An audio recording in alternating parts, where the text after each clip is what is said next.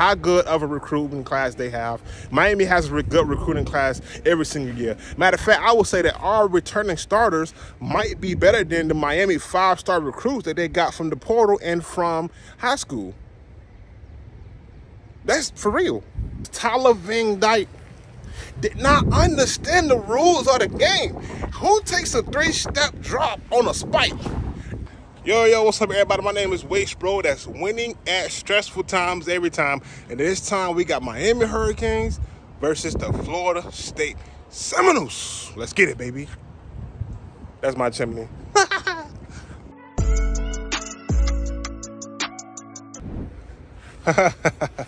Listen up, man. When Florida State and Miami play late, late, I, I believe October, November, that game will be a ranked game between two undefeated teams. Yes, I just said it. Miami and Florida State will be playing for a trip to the college football playoffs. That's going to be the game of the year. That game is going to revive Florida State and Miami's rivalry back to number one where it deserves to be. A lot of people agree that Miami Hurricane has an easy schedule this year. A lot of people agree that the Florida State Seminoles post are supposed to be going to the college football playoffs. So what does that mean? Two rival schools, in my opinion, the best rival in all of college football, maybe besides Army and Navy, is Miami Hurricanes and Florida State. Actually, I will put us at number one because a lot of schools actually measure their rivalry success based on Florida State's and Miami's, based on what we were doing. Because every game was almost a national championship game. Now, fast forward, 2023. We've played almost, what, 60, 70 games together? Florida State and Miami? This is going to be the year. And for Florida State, let me tell you guys something, right? We cannot let those Canes come in our house and beat us. We cannot do it. The last time Miami and Florida State played, when we were at home, it was a fourth and 14.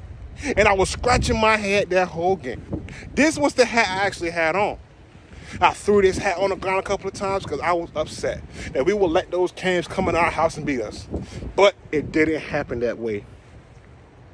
Jordan Travis connected to the wide open wide receiver.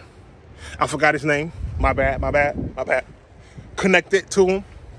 We won the game by three points because Tyler Van Dyke did not understand the rules of the game. Who takes a three-step drop on a spike? That's that's football one-on-one. We learned that when I was back and forth. When I often said my my my hood. I learned that back when I was younger playing street ball. If you're gonna spike the ball, you you you catch the ball, you spike the ball. That's all you gotta do. But listen, man, enough enough of that. Enough of the past. Let's talk about the future. Miami and Florida State. Guys, let me tell you something, right? We cannot let them, we cannot let them beat us.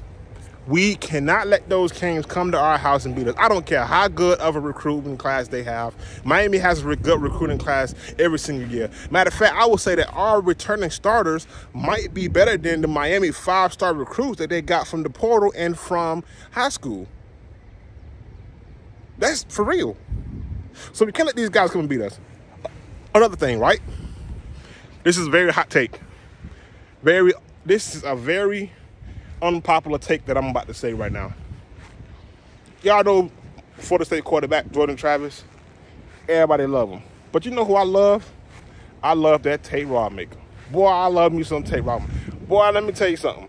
If Jordan Travis have a bad quarter, or two bad quarters versus LSU, Mike Norvell needs to pull the plug and put in Tate immediately. Immediately. Don't wait put in Tate. Don't wait.